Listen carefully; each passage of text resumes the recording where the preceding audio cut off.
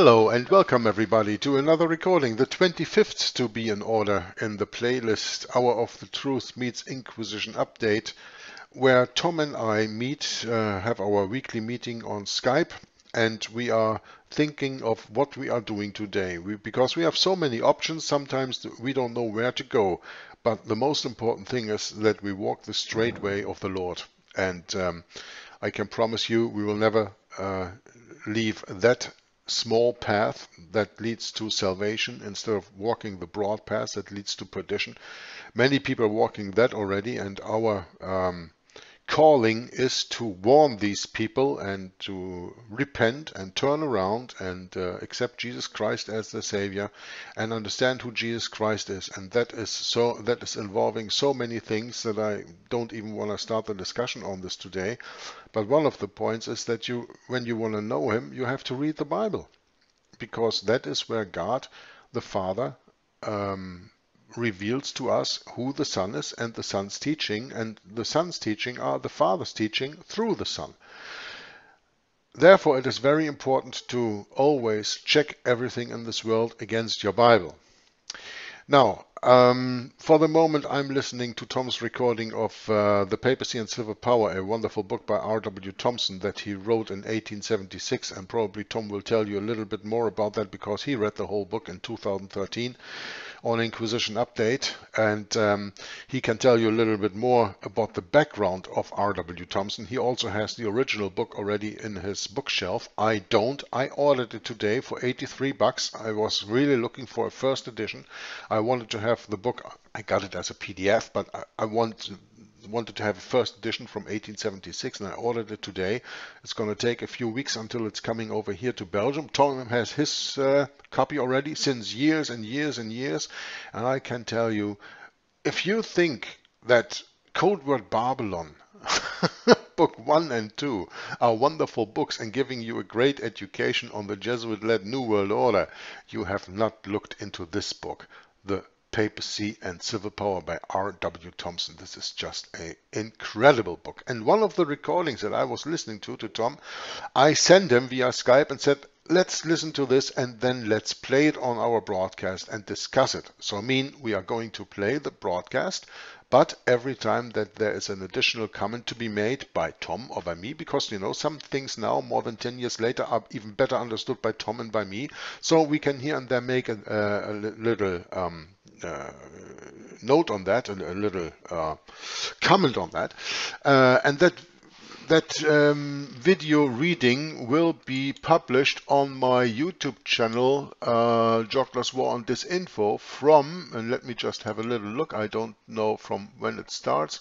Uh, the first video will be published on the 11th of June 2024. Until then we have Code Word Barbelon Part 2, then one German video and then the papacy and civil power.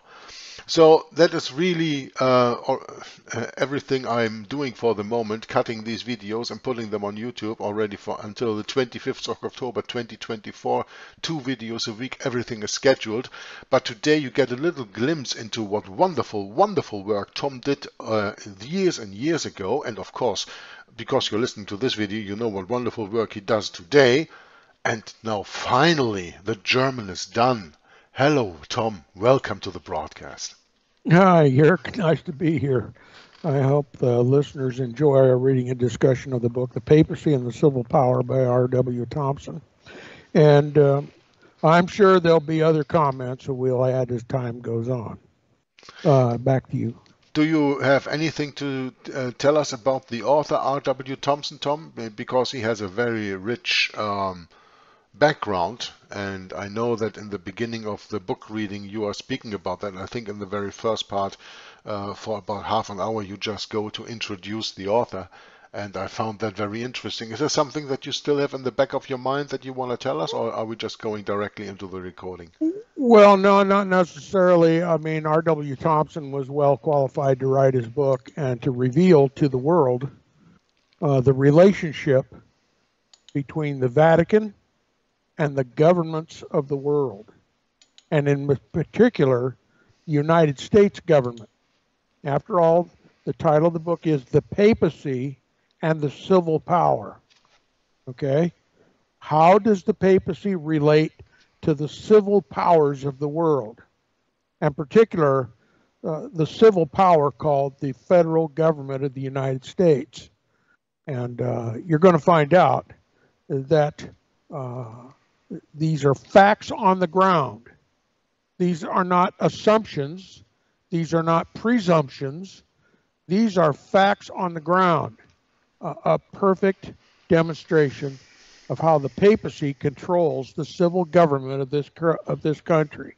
Yeah, what, and, what I'm uh, reading, what I'm reading now about Tom for the moment, or what I'm listening to your recordings in the book is when R.W. Thompson not only speaks about the First Vatican Council, where infallibility of the papacy was declared, and uh, what that all meant to all the world, especially the Roman Catholics in Germany, but also uh, how that works together with uh, encyclicals and papal bulls like Rerum Novarum and uh, encyclicals uh, Pope Gregory XVI in the 1830s has written, uh, then how uh, Pope uh, Pius IX or Pio Nono as he is called took over uh, very very extensively about the syllabus of errors and on very very different deep different levels uh, that has gone into so this is really something that you should not miss to listen to these these recordings well, it's absolutely. You took the words right out of my mouth. I was going to mention Pope Pius IX, Pio Nono, as he was known, and uh, his syllabus of error, which condemned count by count the liberties of our of our country and the Constitution of the United States, starting out with the premise that men are not to govern, but men are to be governed. Okay, uh, uh, in other words, people of this country are not to be the governors. They are to be ruled over by a papal hierarchy. Okay, the papacy considers itself to be God on earth and the ultimate authority. And if there be a civil government of the United States, it's to be the papacy's government. And the people are to respond to that government a, a government of, by, and for the people is anathema to the to the God of this world, the papacy. And so uh, Pope, Pope, Pope Pius IX did everything he could to as, assert his authority over any and every government, and particularly the government of the United States, which was a rogue government.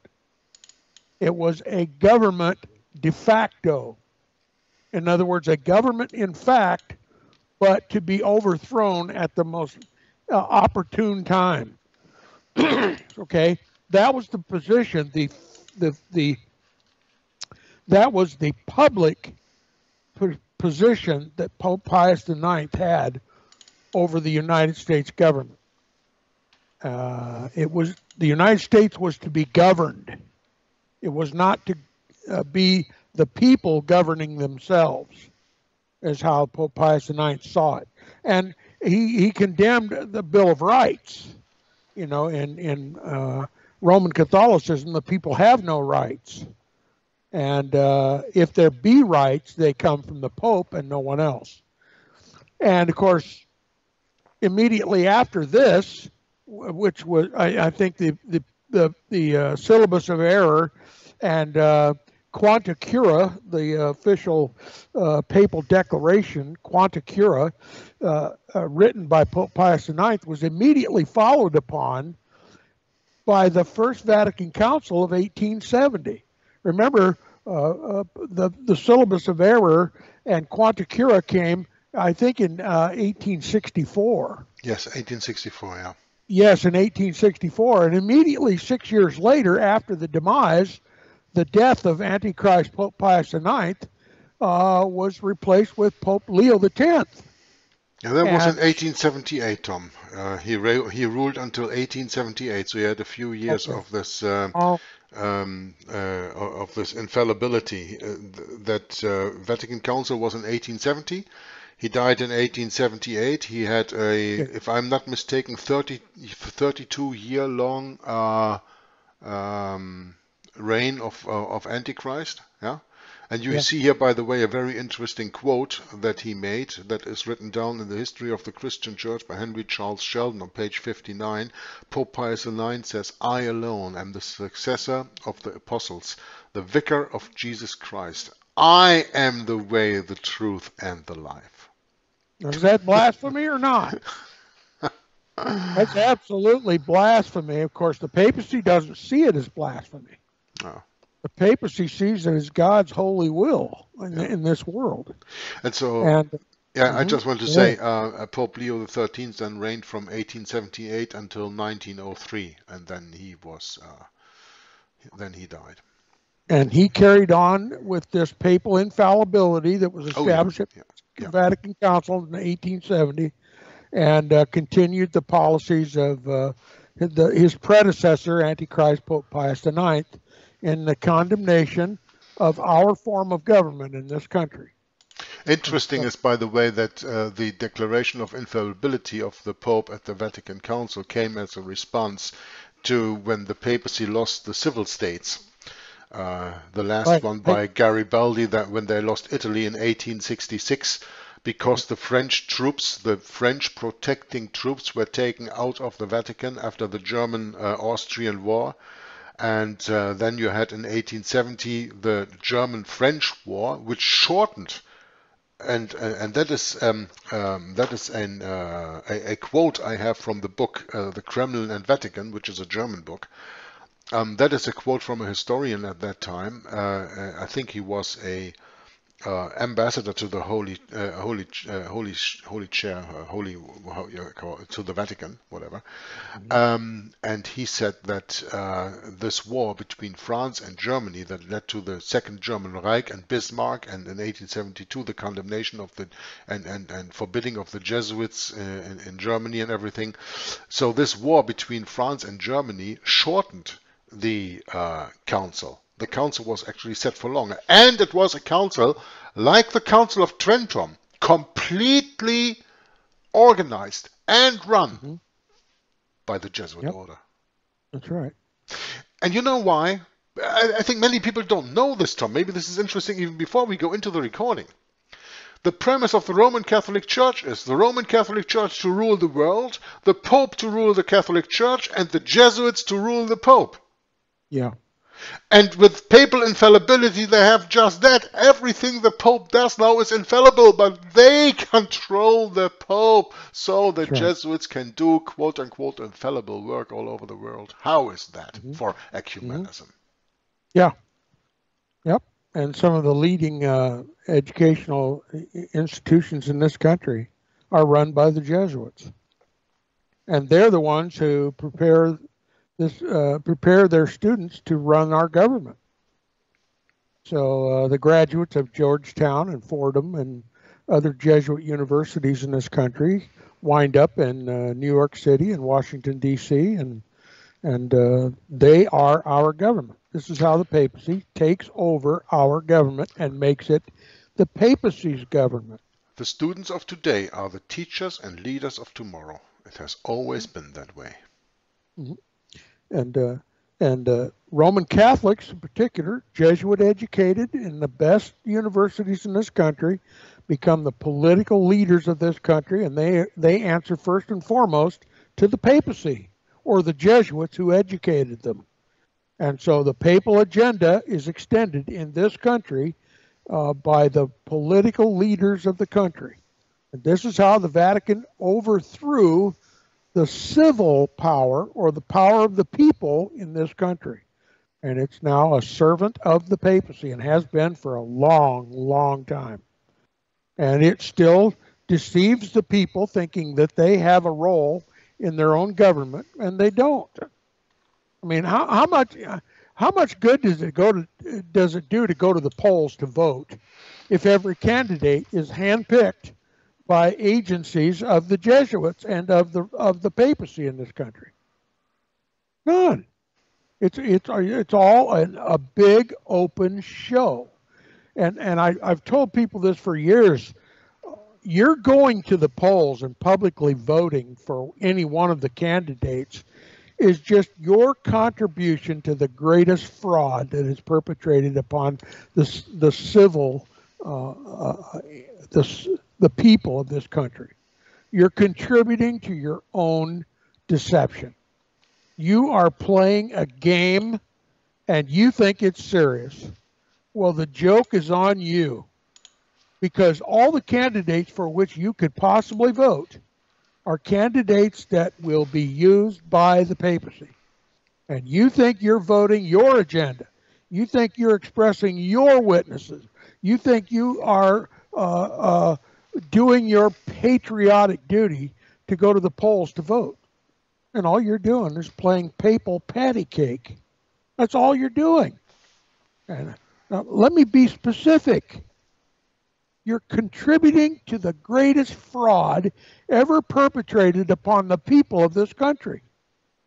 You are putting forth the, the, the, the outward appearance that you're participating in a legitimate legislative process when nothing could be further from the truth. So the only favor that you could do yourself or the rest of the civil uh, the civility of this country is to uh, is to abstain from voting. Don't participate in this mass deception. And you'll find out that this government will keep right on running as if they were legitimately elected by the people. But I, no one's ever going to take my advice. But it's a shame they don't listen. They would, they, they don't would listen. see with their own eyes. Nothing would change if everybody uh, boycotted the polls and nobody went to the polls to vote. Everybody acknowledged by their absence that they have no faith, no no trust, no belief whatsoever in the political the political uh, uh, uh process in this country. The government would go on just like always. All right, back to you, Jörg. They, they don't even listen to my warnings, Tom. But I only, uh, I just put that what you just so explicitly and wonderfully explained into one simple sentence. When you go to the elections, you are put before a choice whether you want a blue pile of horse manure or you want a red pile of horse manure. And the yeah. end of the day, what you get is horse manure like I said to my cousin one time, she was criticizing me for not uh, for telling people not to uh, do their quote unquote patriotic duty and go to the polls. I said, "What which candidate, which which papal candidate do you want to vote for? Which Caligula and which Nero are you going to elect?" And and of course, it would just flew right over her head. She didn't know who I was talking about Nobody knows who Nero was. Nobody knows who Caligula was. But they were Roman Caesars. Both of them Roman Caesars. Which, which, which Roman Caesar are you going to elect? You want you want papal Nero or do you want papal Caesar? You want Roman Nero or Roman Caesar? Doesn't matter what color they wear, red or blue. You're going to get a papal pick. And uh, and of course, I don't believe anybody in my family comprehends what I'm trying to tell them, but uh, it's not my ministry to uh, to uh, witness to my family. God's going to have to pick somebody else to do that. And uh, I know they're not going to believe me. They don't want to believe me. They don't. They don't pay any respect uh, to uh, the years and years of dedicated hard work that I've gone into this, and uh, they condemn me just like every other professing Christian that somehow I've fallen into a cult or some stupid thing. But that's just an easy way to dismiss what they cannot dismiss. They cannot dismiss the fact that the political system in this country is a rank charade. And uh, more and more people are coming to the realization of that. But nobody's willing to admit that it's the papacy who really runs the government. That's that's just a mile too far. But uh, sooner or later, uh, when Christ when Christ comes back and rewinds the tape, and we all get to see what he sees in the dark, uh, everybody will be my friend then. Back to you, Jörg. I want to show you something, Tom. I think you will like this. Uh, you already know that sometimes we do this quote, All hail Caesar. Pope Pius IX in his Discorsi, volume 1, page 253 said, quote, The Caesar who now addresses you and to whom alone are obedience and fidelity due. That's right. So the Pope officially calls himself Caesar here. Uh, you can say no, well, Mhm. everybody can say that, but I found the original document Yep. or where that is mentioned. And this is here on page 255. I don't know how that comes into a different page, but have a look at this. It's Italian. I'm going to read to you the Italian, but you will recognize the words. Orbene, si attene di nuovo lodati, come giustamente meritate, e in premio ricevetente pure la immagine de questo Cesare che vista avanti agli occhi, ai cui soltanto devesi obbedienza e fedeltà. And I've never read Italian before. Just comes to me fluently. Hey, everybody, you're speaking in tongues now. e a chi soltanto devesi obbedienza e fedeltà. You see this where my mouse is here? That's right. And to whom solely, yeah, soltanto, solely, only, devesi obedient, obedienza must have uh, must be paid obedience e fedeltà and um, uh, uh, Fidelity. F- Fidelity, thank you. Yeah, I'm finding the English words again. Di questo vecchio pontefice che amate e che tanto avete ora consolato. So this Yeah. is where he says this in Italian. That is the official language of the Pope next to uh, Latin, of course. But I found this here in uh, Italian. I think that's it's. I mean, if, even if you do not speak um, Italian, from this from these words uh, uh, soltanto devesi obbedienza even an american can see that has to do with soul uh, divine uh, um, um, uh, device Obedience and of- of, fidelity. obedience and, and, and fidelity everybody can see that that's the original Yeah. paper so Yeah. The very words of the Antichrist of Scripture, history, and prophecy. Yeah. These are quotes from the historical, the prophetic, and the biblical Antichrist of Scripture. These are quotes from the Antichrist. And what would you expect in this kind of blasphemy? And you get it from the papacy and no one else. Okay? There are not many candidates for the Antichrist. Oh, yes, there are many Antichrists in the world, but only one Antichrist, only one, the Antichrist of Scripture, history, and prophecy. The one who offered the same offer that he gave to Jesus. See all the kingdoms of the world and the glory of them all. To you I will give them if you'll just bow down and worship me. Now, we all know Jesus rejected that offer, but the papacy accepted it. And you can see that in this quote from Pope Pius IX. He's the man of sin.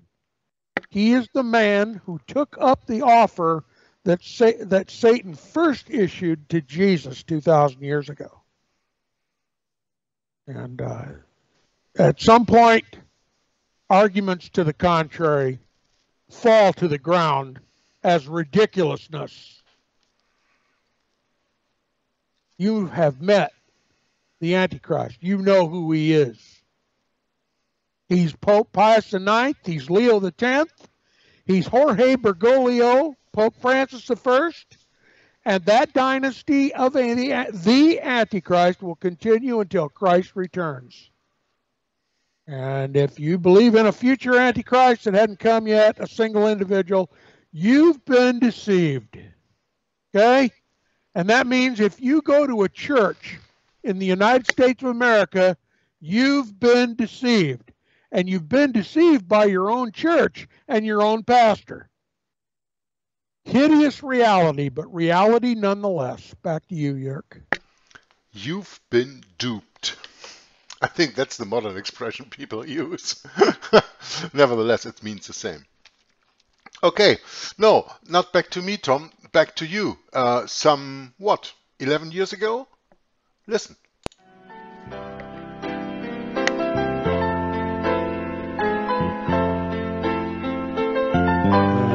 Not hearing anything. You're not hearing anything? No. Okay, then I have to start the sharing in Skype again. That is, I'm very sorry, something that always, or lot, lots of times happens. So, share my screen, including the sound. Before we started, it worked. Now, Tom, do you hear it now? Yes. Okay, there we go again.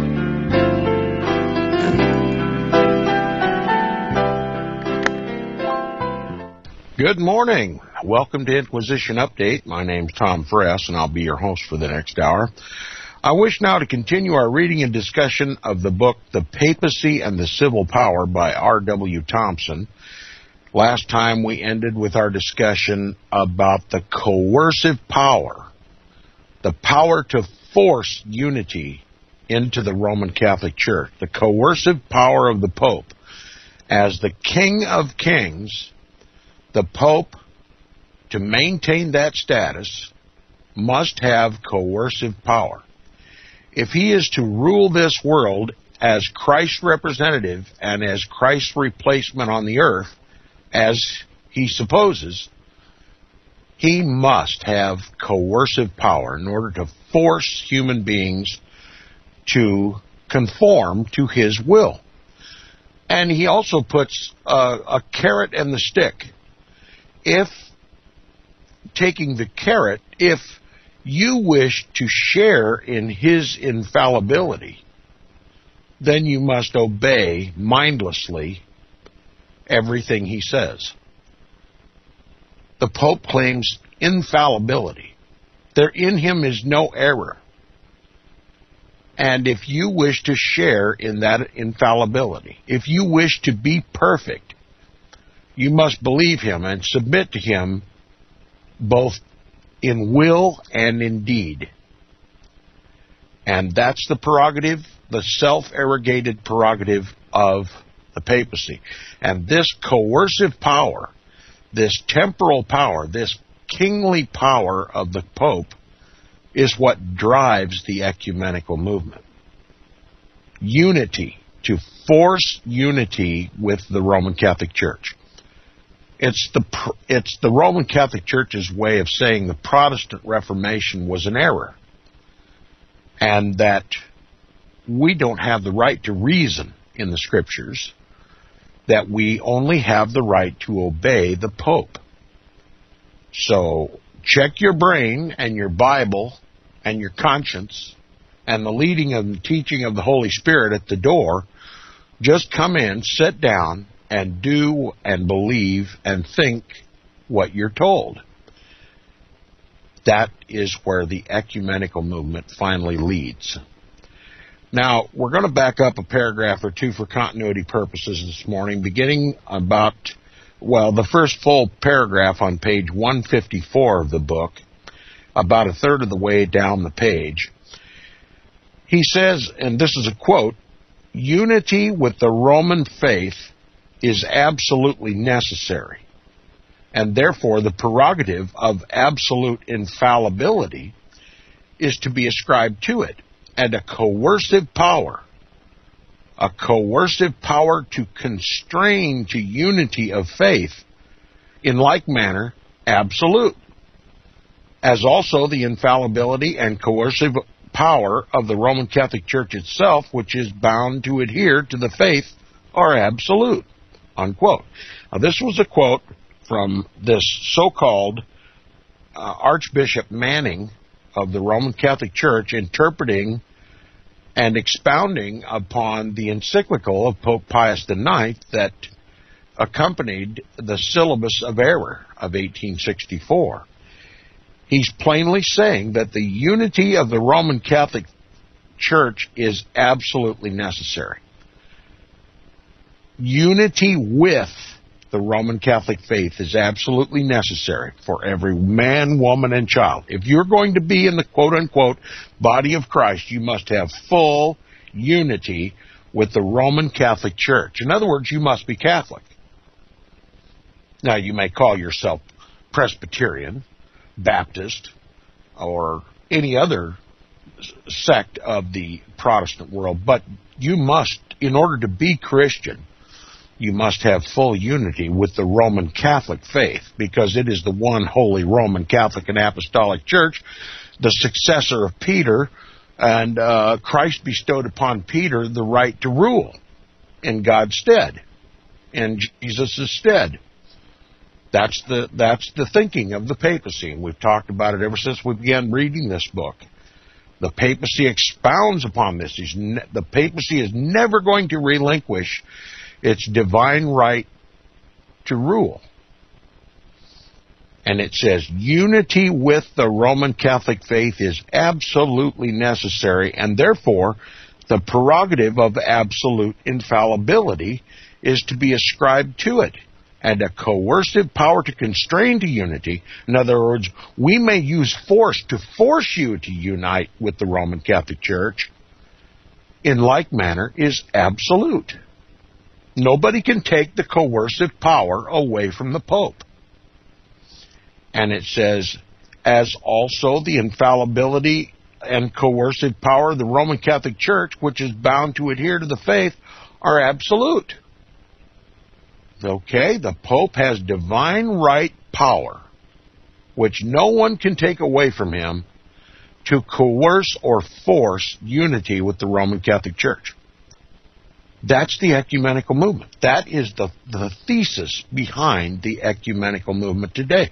There's no more diabolical uh, attack upon true biblical Protestantism, the true faith of Jesus Christ, than this mentality expressed by Cardinal Manning in his interpretation of the encyclical of Pope Pius IX. This is why I find this so important, just uh, making a little comment on here, because this all deals with ecumenism. Ecumenism, as you remember that we've been talking about reading this chapter 74, something it was, in Code Word Barbelon, Antichrist is a woman alive and well again, Catholics and evangelicals together, and um, uh, CCT and ECT and all these abbreviations that nobody can keep in his head because they are all satanical anyway. Uh, this is why I found this to such an uh, important reading that Tom does here in this part of the civil power because it goes along with the um, ecumenism. And without ecumenism, you cannot have the full reach of the papal socialist agenda which is the uh, the goal behind all this, why we're, why we're doing all this, to tell you that there's a quote unquote new world order coming, which is not new at all, which is the restoration of the old world order.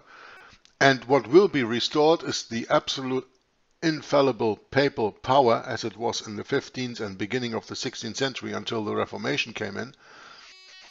Therefore, they need all churches united or they need just one church. One church, one religion and one quote unquote ruler in the in the world. And that is the quote unquote new world order. And therefore ecumenism is a very important um, very important uh, step on that. And when you understand that why Pope uh, why the Pope, not Pope Pius, but the Pope, the papacy was made infallible, it is absolutely necessary to understand that because when the Pope says that all religions are now one and he speaks then ex cathedra, it is God speaking who says that all religions are now one. And that is actually my point, I think, where they are going to.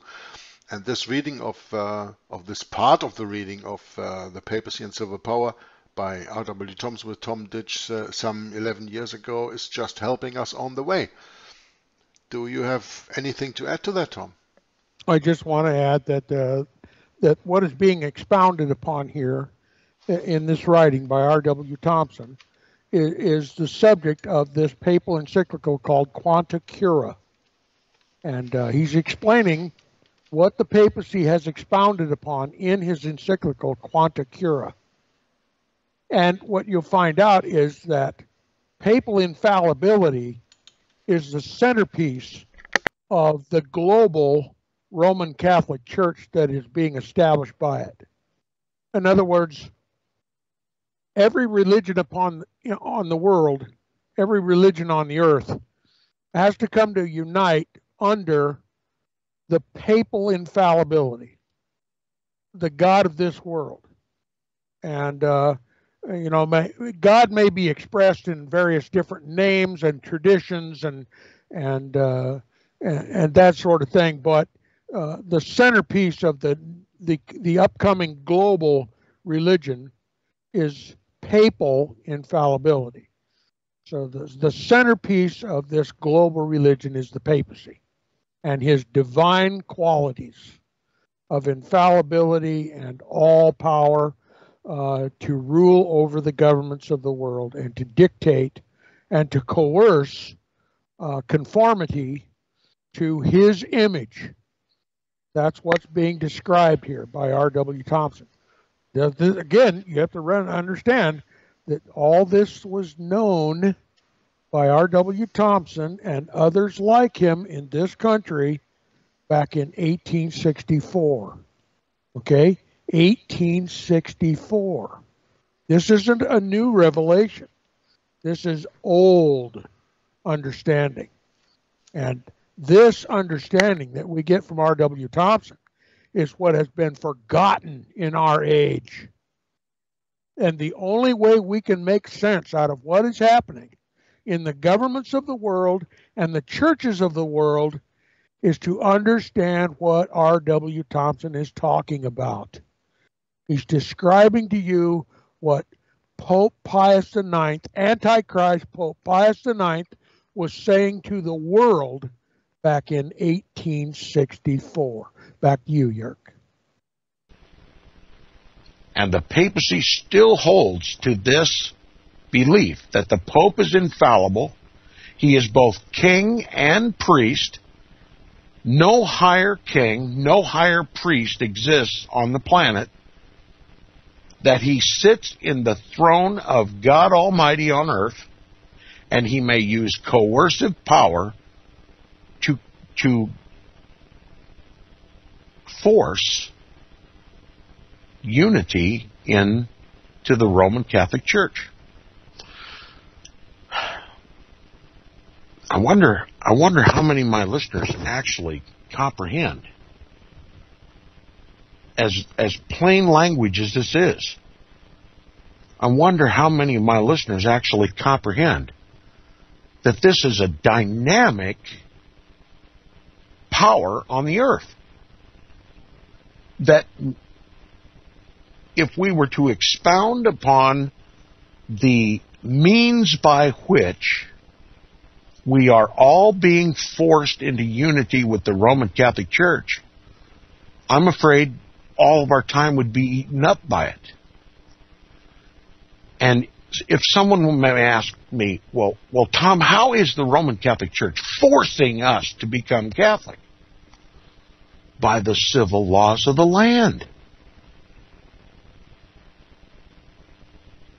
If you don't, if you don't obey the laws of the land, you go to jail, don't you? Well, how many of us are in jail for challenging the law? or violating the law? Well, none of us. What does that mean, Tom? It simply means we're all compliant with the forced unity of the Roman Catholic Church. A mature understanding of what we've been talking about in this book is that our government is the agency through which the papacy brings us all into unity with the Roman Catholic Church. Our entire legal system, our entire educational system, our entire legislative system, ju- uh, judicial system, banking, s- social security, all of it, little by little, every department of our government, little by little, forces us by law, by constraint, by coercion, to come into compliance and unity with the Roman Catholic Church and the papacy. Now you say, Tom, that's absurd. Well, I only suggest that it's absurd because you haven't looked into it. R.W. Thompson looked into it. And so we'll continue to read, discuss his book.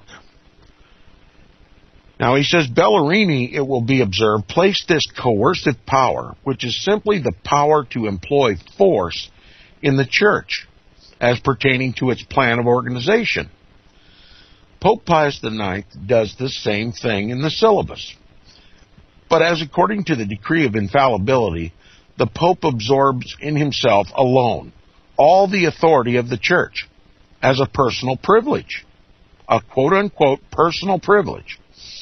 Archbishop Manning reconciles the apparent difficulty by declaring, quote, this infallibility and coercive power are to be ascribed to him, that is the Pope, and are personal, unquote. In other words, it's all vested in the Pope. All of this coercive power, though it is applied by the government, this coercive power comes from the breast of the Pope another attestation that the state, that the, our, let me just put it plainly, our federal government and even our state governments are the agencies through which this coercive power is exercised.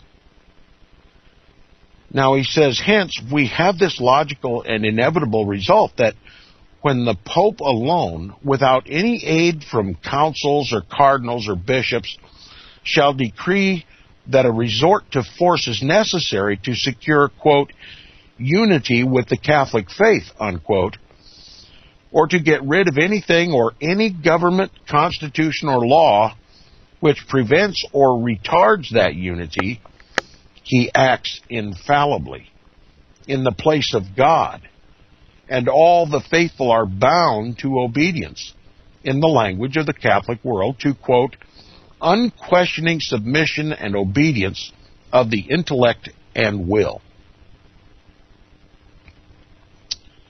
So that's what. You remember what I just read to you about his discourse of Pope Pius IX? Unquestioning submission and obedience of the intellect and will. And what did we read? All hail Caesar. Remember? That's just the same thing. Unquestioned of submission and obedience to the inter of the intellect and will to the Pope. Words taken directly out of the papal encyclical Quanta Cura. That's where all this comes from.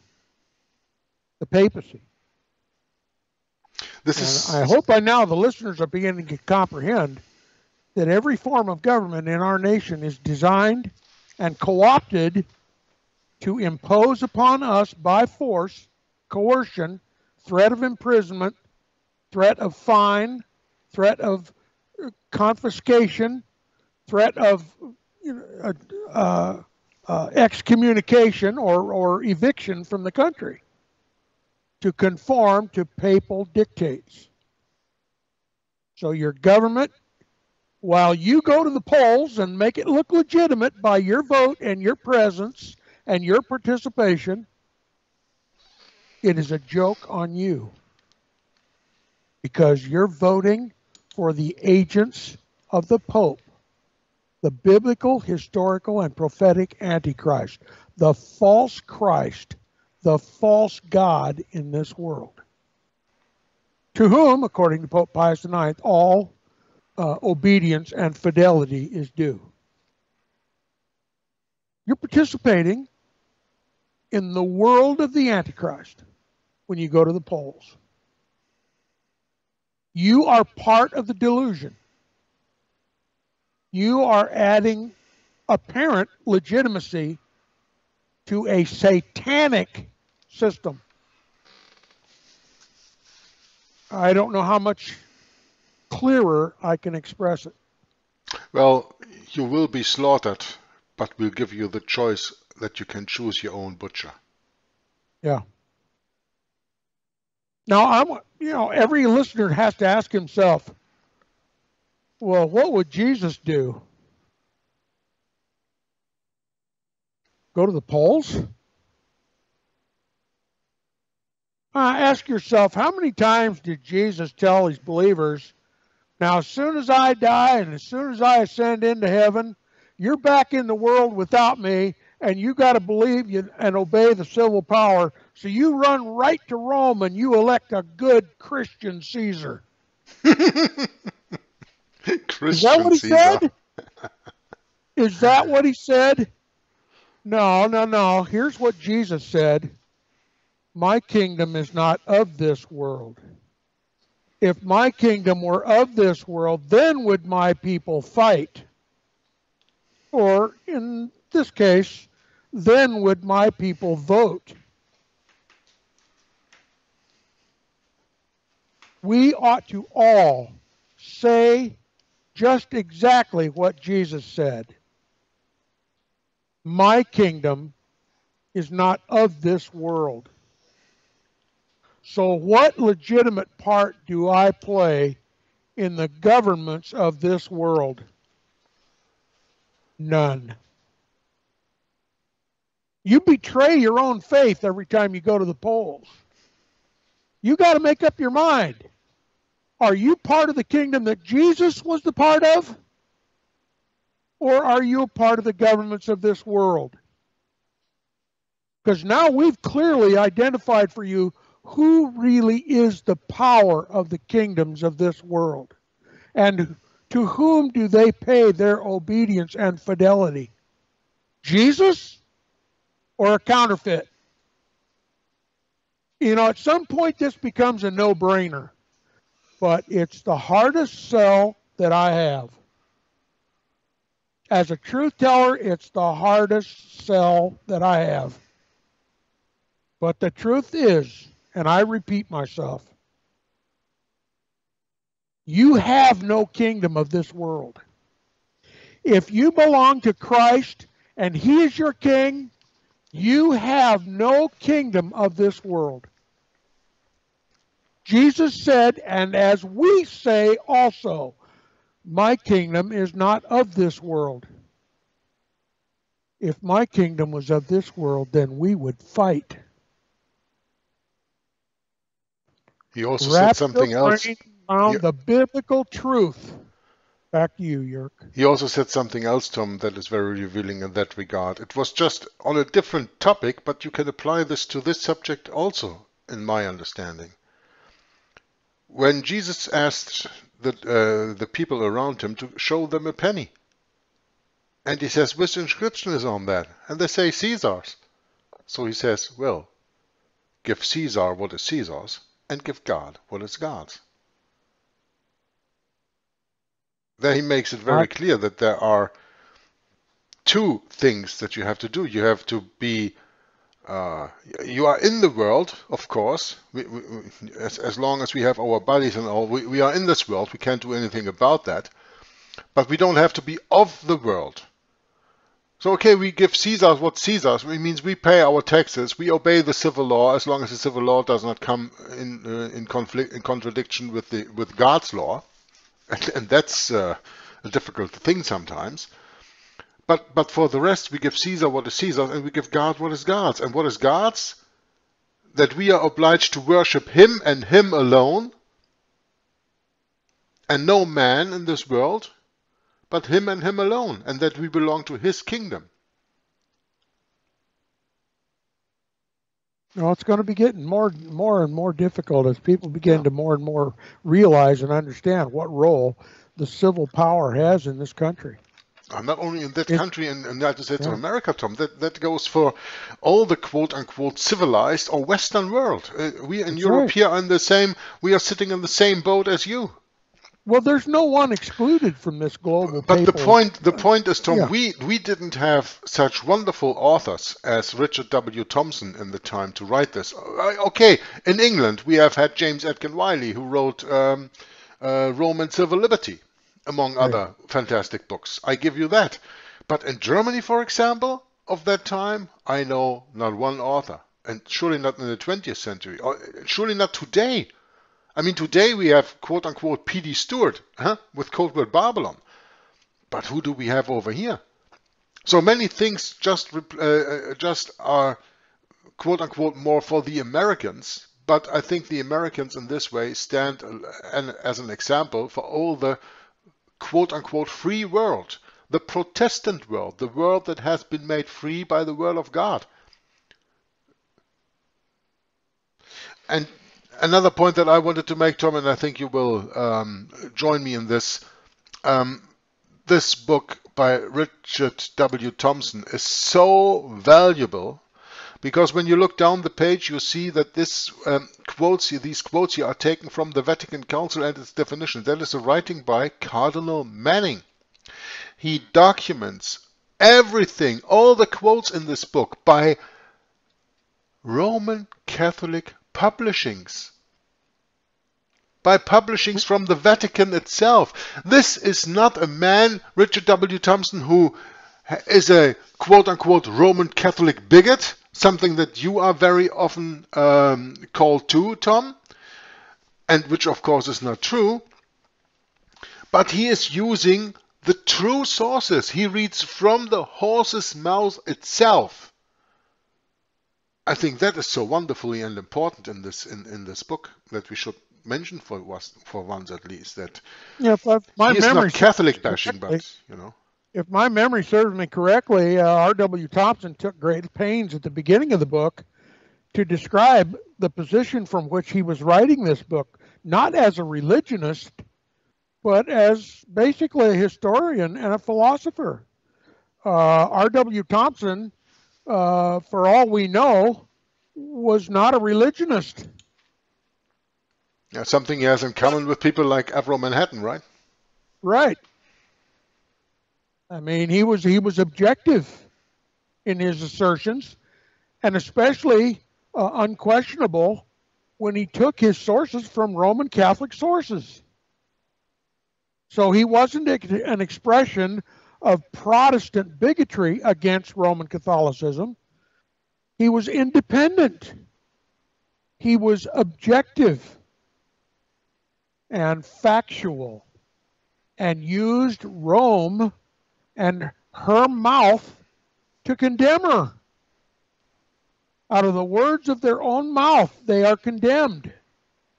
Out of the words of their own encyclicals, they are condemned. Out of the words of their own papal bulls, they are condemned. R.W. Thompson didn't rely on Protestant sources to condemn the Roman Catholic Church and to show the Roman Catholic Church's or the Vatican's control of the civil power of this of this land. In that regard, Tom, he is like uh, Richard Bennett, who also uses papal bulls and papal encyclicals, understands Pope speech, reads the original Latin publications, then translates them into English, and explains that Pope speech to us. He also takes it from the Vatican himself, or took it from the Vatican himself. And I'm That's just right. I'm just mentioning that because Richard Bennett, we should not forget, is still in this paper on the Roman Catholic Socialist agenda that we are going to discuss. This is all one subject. Please, dear viewer of this video, do not get confused. All these 25 videos that we've done so far in this regard, they are all dealing with the same subject, but different points of views on the same thing. And Richard Bennett, who died, I think, 2021 or something, so some, some years ago now, devoted the last 20 some years of his life when he came out of the Roman Catholic Church to warn, first and for all, Roman Catholics of their own institution, their Roman Catholic Church. And he was using the publications of the papacy, of the Roman Catholic Church to tell them, this is what they say. Now you have this on the one hand, and you have the Bible on the other hand. Now your choice. Yeah. And this is the same thing that Tom Friess does in its Ministry Inquisition update. That's the same that I try to do in Hour of the Truth, and that is exactly the same why R.W. Thompson wrote this book. Please, Tom. Yeah, it's just uh, uh, altogether unimpeachable.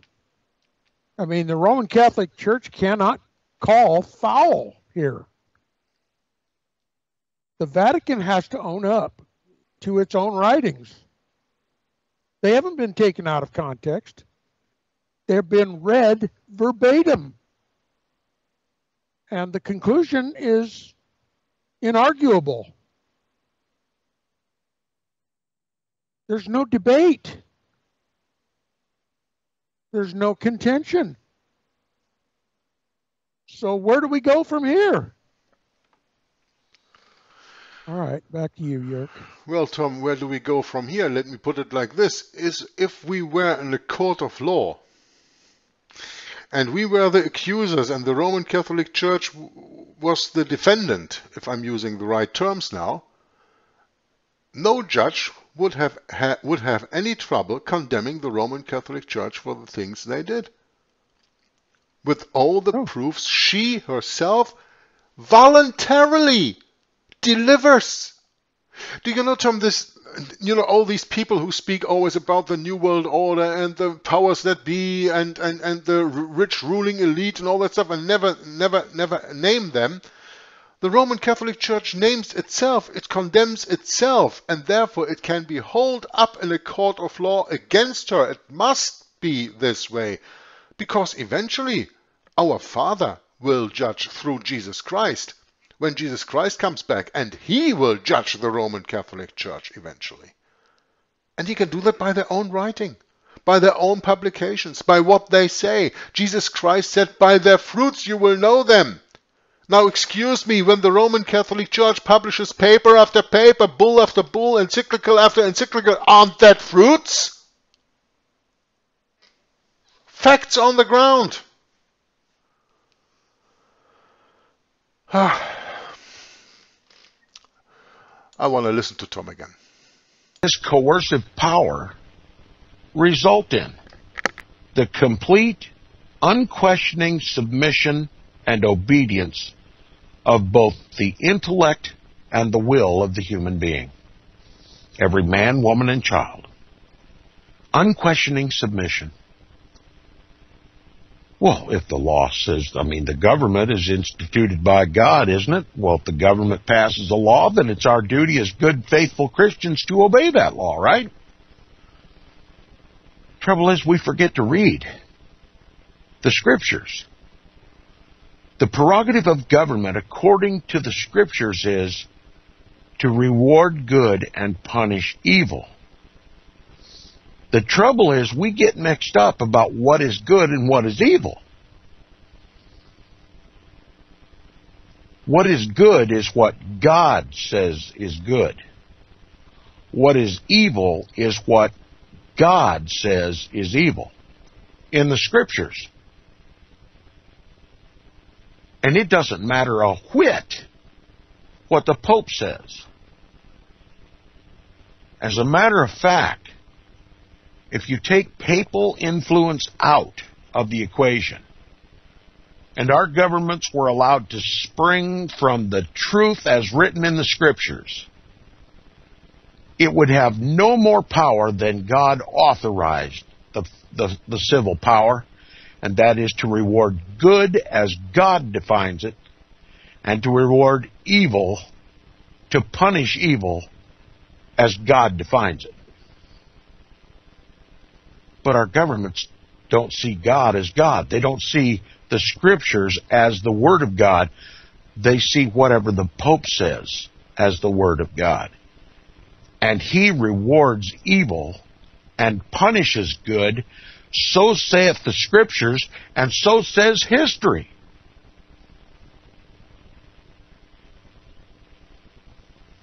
Now, if this country, if this federal and state governments of the of the states of this country were ever godly, and they truly rewarded good as God defines it, and punished evil as God defines it, those days are long gone. And it's time for us to look objectively and scripturally at the laws of our states and the laws of our federal government and find out what authority they upon what authority are they based? Are they based upon the divine revealed law of God or are they based on Roman Catholic canon law? They're not one and the same. They're diametrically opposed to one another. One gives glory to God, the other gives glory and power to the Pope. And that's what this book is all about. The author continues, he says, and it is only by rendering this obedience that the body of the church becomes as infallible as the head. For it seems to be possessed of such diff, uh, diffusing qualities that it may be made to permeate the entire membership. What do you see in this? What do you see in this sentence that he just that I just read? Let me let me read it again.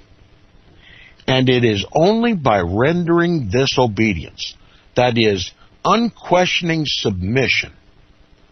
It is only by rendering unquestioning submission to the Pope that the body of the church becomes infallible as the head. You want to be infallible, says the Pope? Just render unquestioning submission to me, and you'll be perfect. You'll be infallible, just as I am infallible. For it seems to be possessed of such diffusive qualities. In other words, this infallibility can spread. It can be contagious. And you can be infected with this infallibility if you just render to me unthinking submission. And then my infallibility will impermeate the entire Christian world. Isn't that diabolical? Isn't that what Christ wants us to do with Him? To obey Him unquestioningly? But the Pope arrogates that prerogative to himself and promises that if you just bow down and worship me, then your eyes will be opened and you will be as gods, knowing both good and evil, as the Pope defines it. You see how Satan has used the papacy? It truly is Antichrist. The author continues, he says, both, that is, the Pope and the body of Christ, Catholics, if they submit passive obedience, unthinking, unquestioning obedience to the Pope, then both are infallible. That is the head and body, says Archbishop Manning. The one actively in teaching, that is the papacy, the other personally in believing. That's you and me. He gives the reason, quote, because its head can never err, it, as a body, can never err. Just as the Pope can never err, if you obey him, you can never err. You ever see, you ever notice any Roman Catholic? I mean, pay particular attention. You ever run across somebody and say like in city council or even the school board that dominates the board?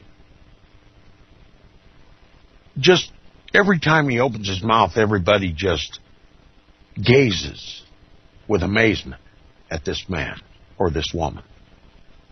Find out what religion they are. Many times this arrogance is displayed by Roman Catholics who adhere to this teaching that if they obey the Pope unthinkingly, they also have his infallibility. and they speak as though they are infallible. And it's and their wisdom slides off their tongue so slickly that it impresses people. And they said, Well, that really sounded good. It must be right.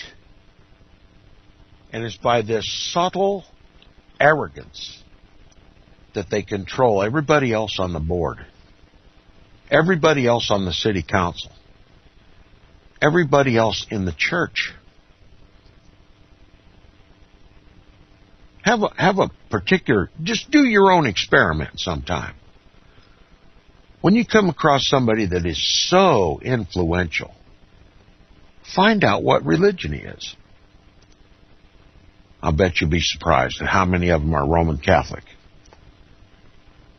They believe they're infallible because they acquiesce unthinkingly to the authority and supremacy and infallibility of the Pope.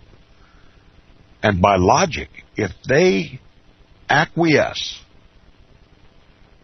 in thought, will, and deed to the papacy, then they too are infallible. And that they should control whatever organizational body that they belong to. And they seek to control every body of organizers they can. That's their duty as Roman Catholics. As infallible Roman Catholics, they are to be the leaders in every organization, from top to bottom. Now, it doesn't matter to them what's true, it's what they believe. Do your own experiment sometime. Now, he gives the reasons because the head can never err. It, as a body, can never err. In other words, the body of Christ, the body of Roman Catholics, rather, can never err if they obey unquestioningly the Pope. And he says, and because the Pope can not exercise, quote, an infallible office fallibly, therefore he cannot err in the selection of the means of its exercise, no matter what those means may be, either peaceful or coercive. In other words, if he decides to call a crusade to her- to extirpate and annihilate the heretics, I mean, it's only because they didn't submit unquestioningly. They could have converted to the Roman Catholic Church peaceably. They could have been just as infallible as you and me. We gave them every opportunity, but they didn't. They would they refused. And the only option left now for this infallible papacy is to use force.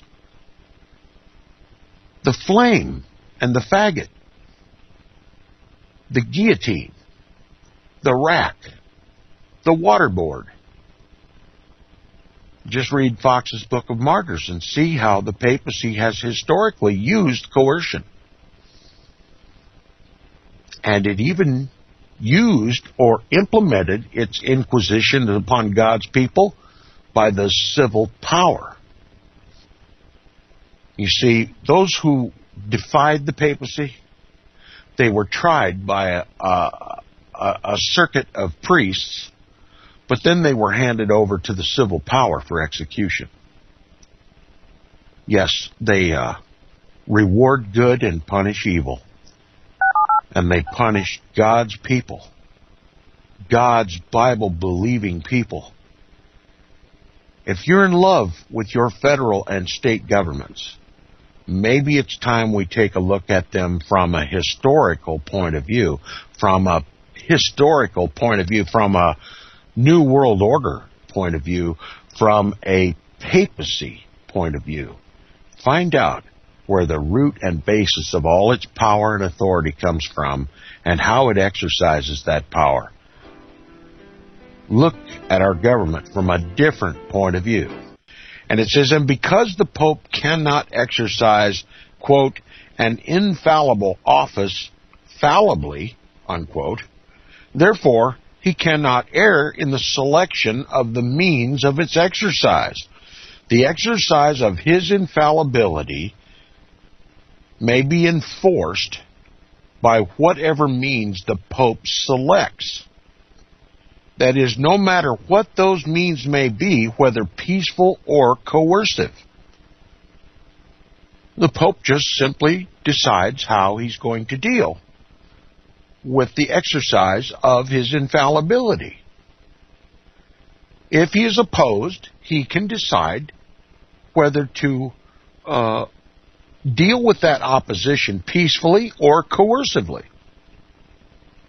And nobody may question his motive or his means.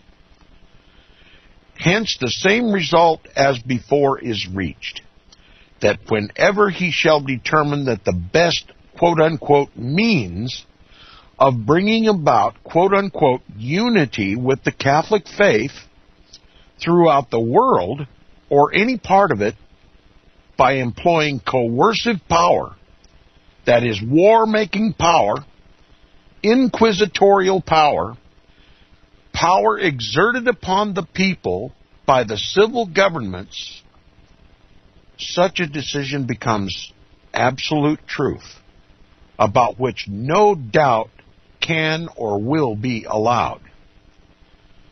The act of deciding on his part is infallible and the body of the church, by passive obedience, becomes also infallible. In other words, if the Pope says, extirpate the Bible believers out of your realm, every Roman Catholic shares in the Pope's infallibility when they carry out that infallible order.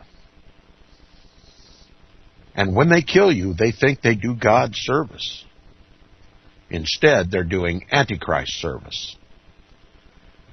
Now, to deny this papal infallibility, quote, after the definition is heresy, unquote. And to deny it before is, quote, proximate to heresy, unquote. So, if you disagree with the Pope, if you disobey the Pope, you're a heretic. And of course, we all know, those of us who uh, understand what uh, the Council of Trent said, if you're a heretic, you're to be extirpated and annihilated. You are ex ipso facto excommunicated from the quote unquote church. You are damned in this life and the life to come. And it is no crime in the Roman Catholic Church to kill a quote unquote heretic. The trouble is, they always choose God's people to declare heretics. Now, of course, such infallibility as this must be absolute. It is declared to be so, quote, inasmuch as much as it can be circumscribed, that is, questioned, by no human or ecclesiastical law, unquote. Therefore, it is above all law or constitutions, so that when exercised by the Pope all these may be trampled underfoot. All laws and all constitutions and all governments may be trampled underfoot by the Pope in his exercise of his office as infallible King of Kings and Lord of Lords, if he shall so decree. It will not allow any appeal to history. In other words, you can't read Fox's Book of Martyrs and come to another conclusion than the Pope gives. He says, I am King of Kings. I am Lord of Lords. I am the successor of Peter. I am Christ on earth, and every word out of my mouth is infallible. It must be believed and adhered to, both in practice and in will. And if you choose to read a history book that says otherwise, like Fox's Books Martyrs, and you bring a charge against the papacy, well, history is no authority over the Pope. It says it will not allow any appeal to history in order that it may be required, uh, inquired whether it is or is not consistent with the teachings of Christ or of his immediate disciples or of the apostolic fathers of the early church. In other words, you can't take what the papacy teaches today and appeal to the scriptures, the best history book on the planet, to find controversy. That what you just said here, Tom, is of the utmost importance because this is a description why all the school books and most of all, of course, history books, but act actually all school books, the whole curriculum in a school, is written by Jesuits. Mm -hmm. You cannot use anything happening in history past, facts on the ground, to accuse the Roman Catholic Church. So therefore, she twists history in that regard that she cannot be accused by the facts of the past. That is so. That's why it is so important not only to read the Bible, but to read books like this from R.W. Thompson. That's why it's so important to read the book that you mentioned a few times, um, Fox's Book of Martyrs, and yeah. other books of the history of the Inquisition. And uh, about the same time in the 1890s, um, Henry Charles Lea wrote his three-volume History of the Inquisition, uh, 1,800 pages this is something that people should know, and then they can accuse the Catholic Church because the Catholic Church works all day and night to see to it that you do not have those books, that you do not get that information, to accuse her of what she is. Accusing, yeah. Tom, brings us back to the code of law I spoke of earlier, right? Right, right, right. Yeah, it, it's it's good according to papal de uh, decree, and it's evil according to papal decree. That that's the rule of law in the New World Order. Yeah, the Pope determines I, I, what's good I, and what's bad. That's right. The Pope decides what's good and what's bad. Just like Nebuchadnezzar, uh, when uh, the, the, the the Israelites were under Babylonian captivity, it was Nebuchadnezzar that decided what was good and what was evil. And of course, they got re- he got rebellion from Shadrach, Meshach, and Abednego, didn't he? Yeah, especially when they didn't bow to his image. That's right. Nebuchadnezzar said, "What is good is that at the sound of the of the music, you'll bow down and worship my image." And of course, when the music sounded, Shadrach, Meshach, and Abednego did not bow down to his image. So they were thrown in the fiery furnace. Does that mean they violated the civil power? That means they violated Romans chapter 13? No. They recognized that Nebuchadnezzar's rule and reign and obedience and fidelity was determined by whether or not Nebuchadnezzar was a servant of God or a servant of himself or a servant of Satan. And the same distinction has to be made by God's people today. Who does our government serve? Does Roman chapter 13 apply to this government? Are we to unquestionably obey this government? Is it a godly government? Or is it a Nebuchadnezzar government? Do we bow, bow down to the image that is set up before us? or not. And you won't hear this message in any church in this country. no. They don't teach this in any church in this country. Now, they can talk about Shadrach, Meshach, and Abednego, but they'll never tell you we are under the same imperative as Shadrach, Meshach, and Abednego. The New Testament does not does not contradict the old. And by the way, while I'm thinking about it, I maybe should have uh, stopped the reading a, a paragraph earlier. Uh, I want the listeners to recognize that what is written in this previous paragraph was was was in it inherently to be understood that the inquisitions are going to continue. Papal infallibility is going to be imposed and not just by the inquisitions as we are historically familiar with a circuit of priests that go around and round up all the heretics and, and try them and declare them guilty of heresy and then hand them over to the civil power for execution. No, inherent in the words of this previous paragraph is regime change and world wars. Okay? The imposition of papal infallibility is going to be escalated and advanced to a, a, a status that is unrecognizable heretofore. And that's why people don't recognize world wars as the Inquisition of the Roman Catholic Church. They don't recognize regime changes as the exercise of the Holy Roman Inquisition. But that's what it is. It's an escalation of the coercion of the infallible God of this world, the papacy, to global extent. Okay? The Inquisition now has grown so large and accrued, accrued to itself so much power and so much consequence and so much influence in the world that God's people don't even recognize it for what it is. It's the Holy Roman Inquisition of the Pope on a global scale. He now commands the governments of the world and the alliances of these governments and uses these groups of governments, these groups of nations, to make war against other groups of nations.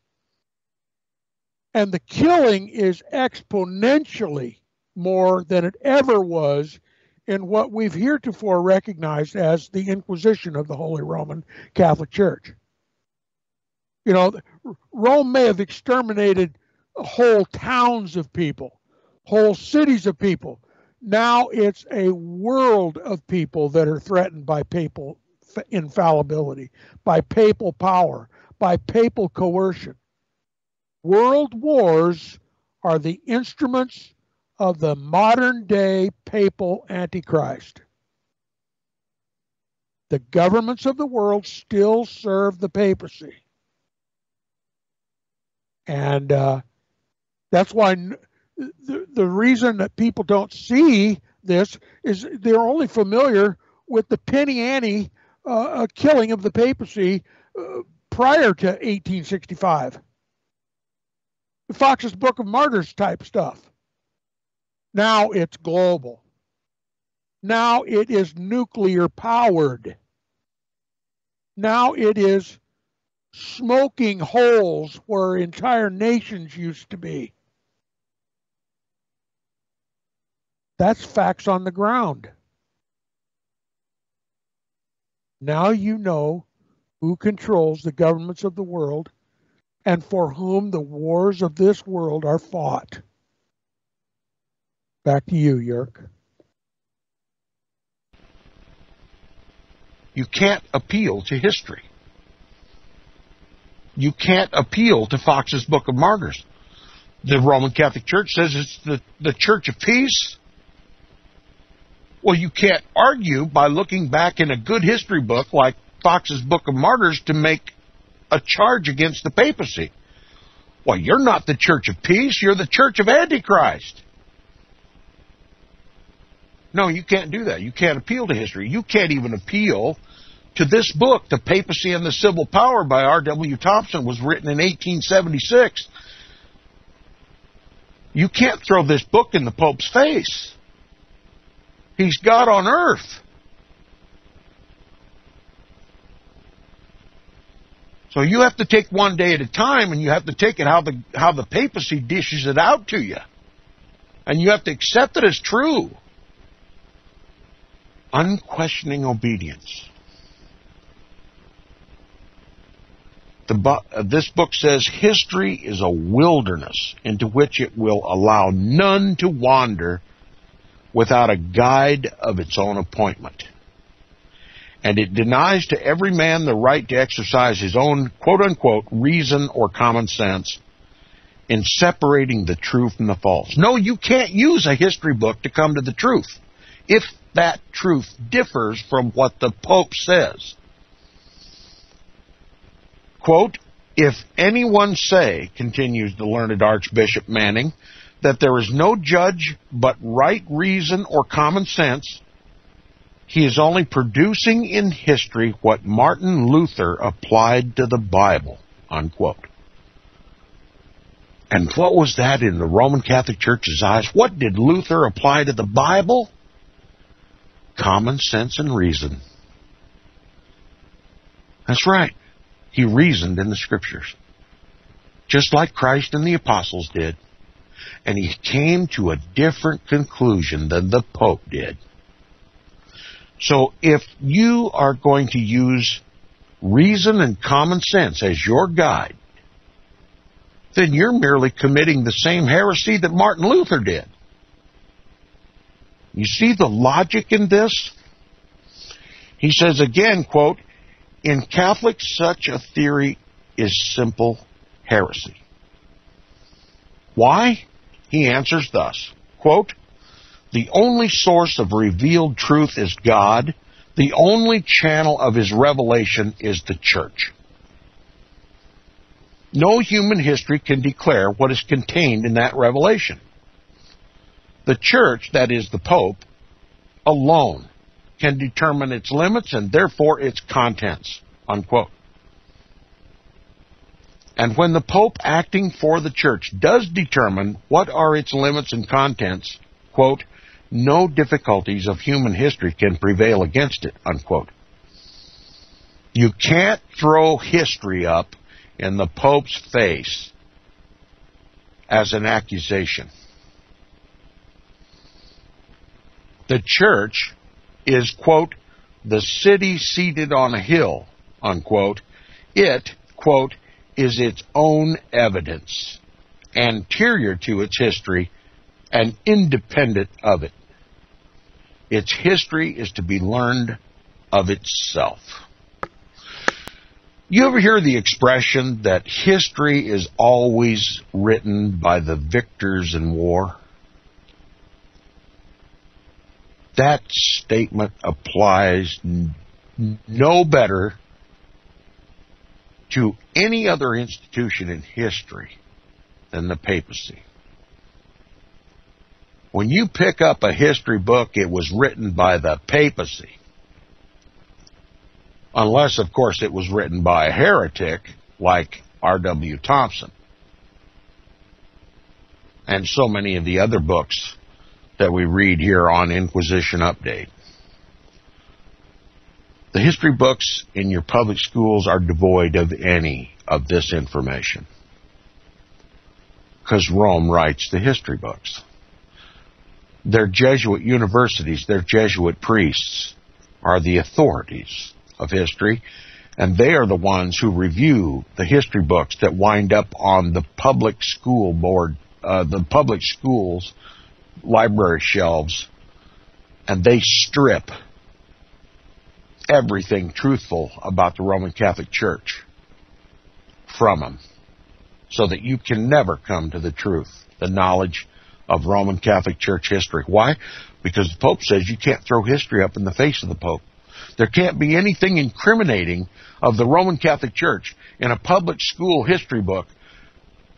Otherwise, someone might violate the Pope's rule and throw a history book up in the face of the Pope and say, What about this?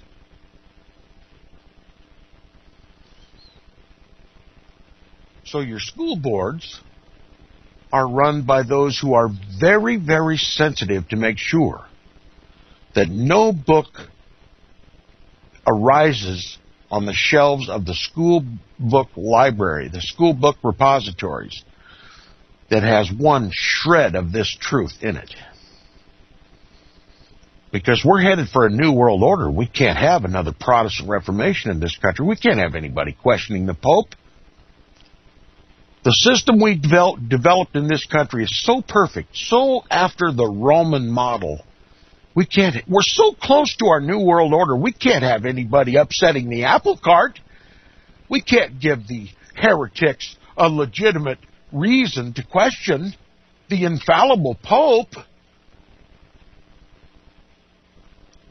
What if there was another Protestant Reformation we had to start all over again? History cannot be appealed to. No, the Pope writes the history. And if any heretic like Tom Friess stands up and says, What about this? The Pope just denounces him as a heretic. Persecution takes place. His voice is silenced. And we're back on board with the New World Order. Institutionally, this country is following the dictates of the papacy. Right down to your local school boards, right down to your local city councils, right down to your local Masonic lodge.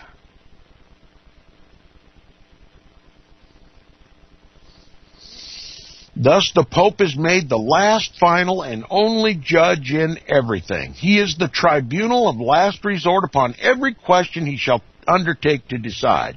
He is infallible whenever he shall decide and whenever he declares himself to be so.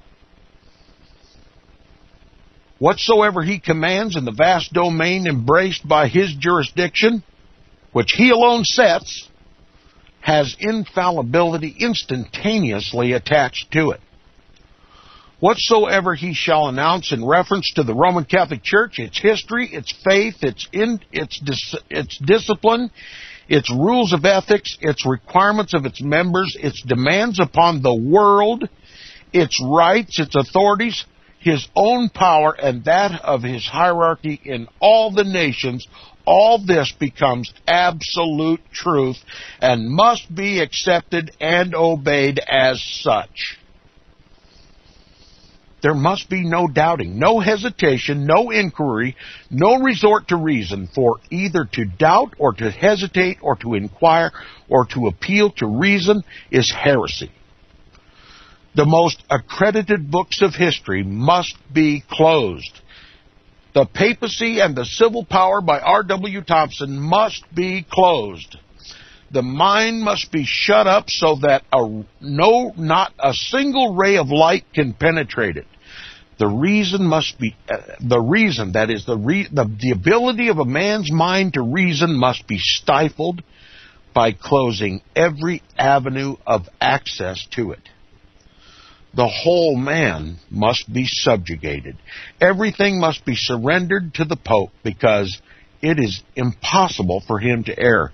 Because, quote, the church itself is the divine witness, the teacher, and judge of the revolution of, of the revelation entrusted to it, unquote because no human power, quote, can revise or criticize or test her teachings, that is, the teachings of the Roman Catholic Church, because the pastors of the church with their head, that is the Pope, are a witness divinely sustained and guided to guard and to declare the faith, unquote, because these obtained their testimony, quote, not in human history, but in apostolic tradition, in scripture, in creeds, in liturgy, in the public worship and law of the church, in councils, and in the interpretation of all these things by the supreme authority of the Roman Catholic Church, unquote, that is, the Pope, and because the church, through the Pope, quote, can alone determine the extent of its own infallibility. Unquote. I mean, after all, if you're infallible, then you can determine the extent or limits of that infallibility. And you What we've just heard here, what you just read in this very last paragraph, Tom, that is a very precise description of the New World Order, isn't it? That's right. That's right. As a matter of fact, he even used the, the, the expression that George H.W. Bush used in his New World Order speech, talking about that shining city on a hill. Yeah. And a thousand points of light. That's what George H.W. Bush was talking about. That bright, shining city on the hill is the Vatican.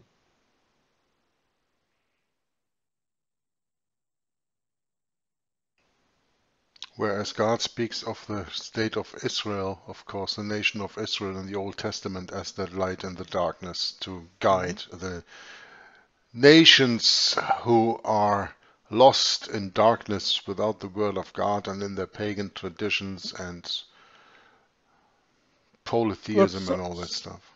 So far, this this book, if if you can, you know, comprehend this, R.W. Thompson is announcing to this government and to the people of this country that Rome controls everything over here, and that if we don't stop it, if we don't do something about it, there'll be no stopping it, and, and there'll be nothing done about it, and that's where we are today. And that's 150 years ago, Tom. That's right. So, so who listened to what R.W. Thompson had to say? Very few, and those that did are dead, and whatever whatever education they tried to give the rest of us has just long since died as well. And uh, many many people would encourage me, Tom. It's it's a lost cause. Why why are you beating your head against the wall? Well, because every soul counts, and we are not at the moment that Jesus Christ returns and separates the wheat from the uh, from the uh, tares, but we are still here to try to save souls, to get the truth out to people who haven't heard it, to convict people, of to convince people of the truth that is in Jesus Christ and in our Lord Yahweh in heaven. It's not a lost cause yet. It's a lost cause for the world, but the world has been lost at the moment that Adam uh, paid disobedience to God and listened to the serpent or his wife, which is the same in that regard. you know. Yeah. From, from that moment on, all was lost. But it is still about waking people up. And, and sometimes I'm encouraged by the comments of these videos that I see that there are people really starting to listen, really yeah. to get it. Yeah. And what higher reward can we ask for, Tom? Well, there's none higher than that for me. Absolutely. Yeah.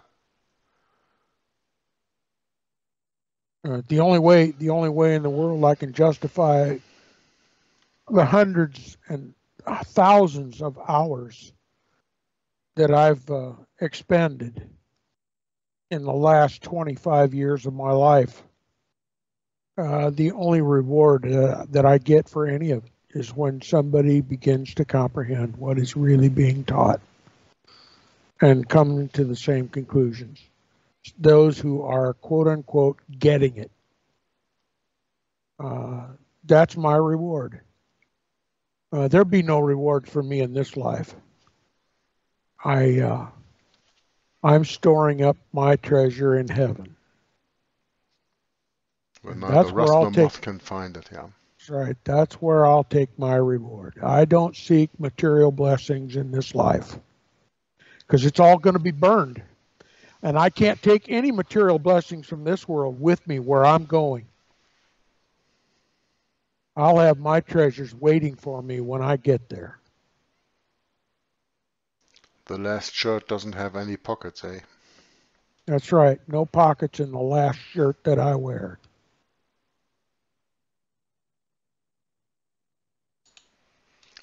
Let's continue. We still have a few minutes to go. But you see, this is powerful. Eh? This is absolutely powerful. Yep. You can do it infallibly, right? Are you confused? Well, confusion defines this modern age. Let's just put it plainly. Whenever the Pope speaks, you must obey because he has the infallible use of coercive power and he's got control of your government and your tax dollars for as long as this country has been available uh, or has been on the earth has taxed its people and has perfected its technologies so that it can coerce you to do anything. And i hear all this talk on amateur radio about uh, all these uh, so-called christians are uh, arming themselves, buying guns. Do you think those little pea shooters are going to amount to a whit when you come across the most powerful military coercive force the world has ever seen, the U.S. military, the U.S. Navy, the U.S. Armed Forces, the civil power of the papacy in this country? That's right. You worked all your life and paid all your taxes to give the Pope the power to turn you to toast at the flick of a switch. Or to just erase your bank account with a stroke of a keyboard. Who can make war with the Pope? That's right. Our civil institutions, once Protestant, are now Catholic. They are at the Pope's disposal. R.W. Thompson warned about this day. And American Protestants failed to heed the warning. And the ecumenical movement, the success of the ecumenical movement to reunite the Protestants back into the Roman Catholic Church is proof that there's no real concept in this country of the aims of the papacy for controlling the world. Not to mention the United States of America. There's no comprehension in my experience, both on Inquisition Update and on amateur radio, is nobody wants to know. And certainly, if they begin to comprehend this, Nobody wants to talk about it. And worse than all, nobody wants to do anything about it. That's what the Pope meant by unquestioning obedience. Unquestioning submission. He got what he wanted.